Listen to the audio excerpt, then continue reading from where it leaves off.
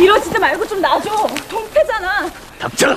그 입까지 틀어막기 전에 놈은 우선 그 안가로 잡아! 어서!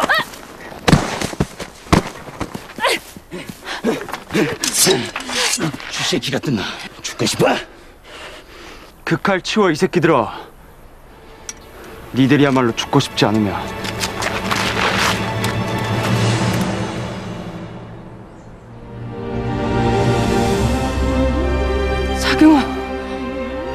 넌 웬 놈이냐?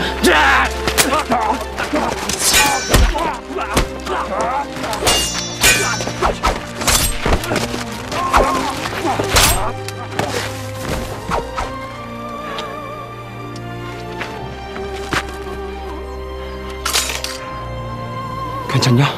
안 다쳤어?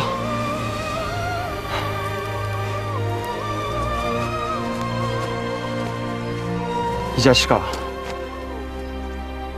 넌 어떻게 외에서나 조선에서나 이 꼴이야? 너 어떻게 된 거야? 네가 어떻게 여기 있어? 널 찾으러 온다고 했잖아. 내가.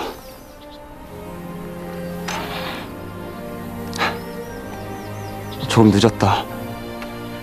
오는 길이 좀 험했거든.